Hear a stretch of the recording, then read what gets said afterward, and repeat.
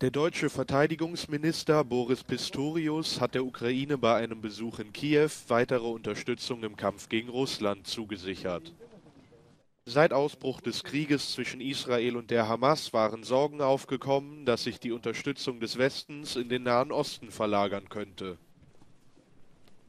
Ich bin hier wieder hier, um erstens weitere Unterstützung zuzusagen, aber auch unsere Solidarität und unsere tiefe Verbundenheit und auch unsere Bewunderung für den mutigen, tapferen und verlustreichen Kampf, der hier geführt wird.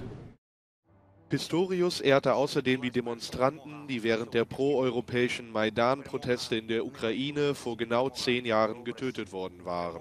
Der ukrainische Präsident Volodymyr Zelensky bezeichnete die dreimonatigen Dauerproteste als ersten Sieg in der bis heute andauernden Auseinandersetzung mit Russland. Der ukrainischen Armee gelingt es derweil laut eigenen Angaben trotz widriger Umstände, die eigene Position in der umkämpften Region Cherson südöstlich des Flusses Dnipro zu festigen. Ну, проїхати до вогневої позиції тяжче.